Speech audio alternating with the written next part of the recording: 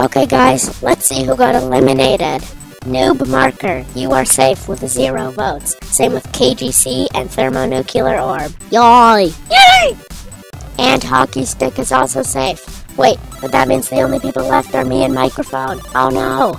Let's see the votes.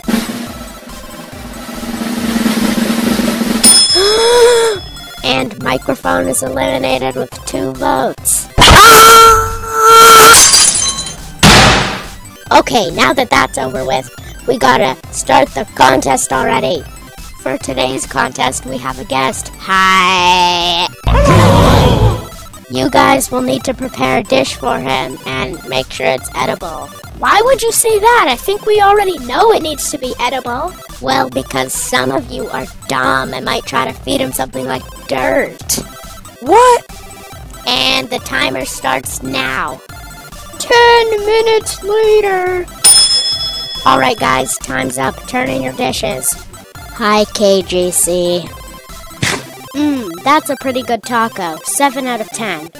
Hello, thermonuclear orb.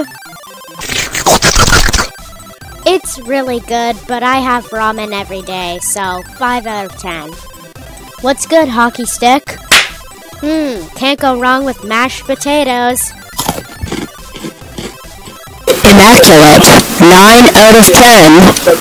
Hello, tablet. Ooh, cookies.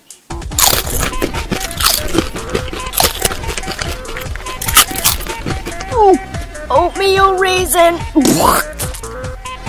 Hi, noob marker. Ooh, can't go wrong with a sandwich.